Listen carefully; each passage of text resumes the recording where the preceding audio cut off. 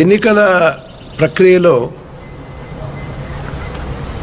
యంత్రాంగం అంతా కూడా శ్రమించి అంకితభావంతో నిబద్ధతతో చేయటం వల్లనే ఇటువంటి మెరుగైన పరిస్థితులను కూడా మనం ప్రతి విడతలోనూ చూస్తూ వచ్చాం. ప్రతి విడతలో సుమారు తొంభై వేల పైచులకు ప్రభుత్వోద్యోగులు అన్ని శాఖల వారు కూడా ప్రత్యక్షంగా కానీ పరోక్షంగా కానీ ప్రతి విడతలో కూడా పాల్గొన్నారు.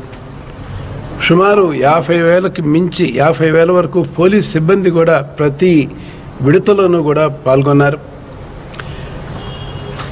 ముఖ్యంగా పోలీస్ సిబ్బంది అయితే వ్యాక్సినేషన్ ఈ ప్రక్రియను కూడా పక్కన పెట్టి ఈ ఎన్నికల్లో పాల్గొని చాలా పటిష్టంగా పనిచేయటం వలన ఎక్కడా కూడా ఎటువంటి ఇబ్బందులు రాలేదు.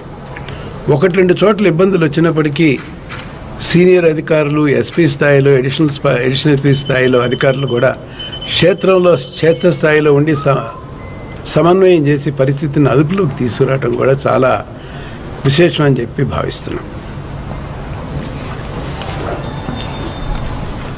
ఎనభై శాతానికి మించి ప్రతి విడతలో కూడా ఓటర్లు కూడా పాల్గొనటం కూడా చాలా విశేషం.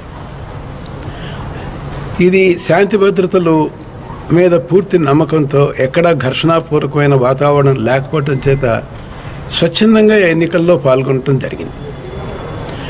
కోవిడ్ నేపథ్యంలో కూడా చక్కటి ఏర్పాట్లు ఆరోగ్య శాఖ జిల్లా అధికారులు చేయటం చేత ఆరోగ్యపరంగా కూడా పూర్తి భద్రతమైన ఏర్పాట్లను కూడా చేయటం కూడా చాలా విశేషం.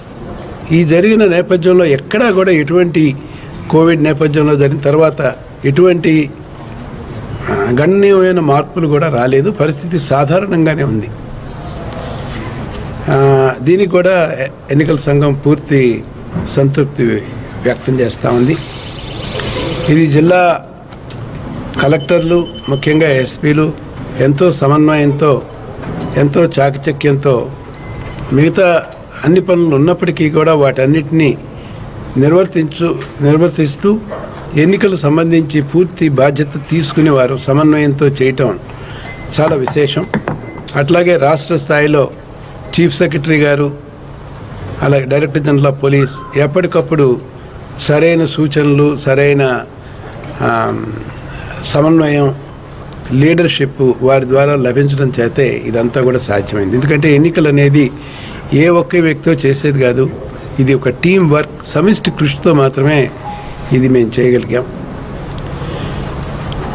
చివరిలో నేను ముఖ్యంగా ఎలక్ట్రానిక్ మీడియా తర్వాత ప్రింట్ మీడియాని కూడా నేను ప్రత్యేకంగా అభినందిస్తున్నాను.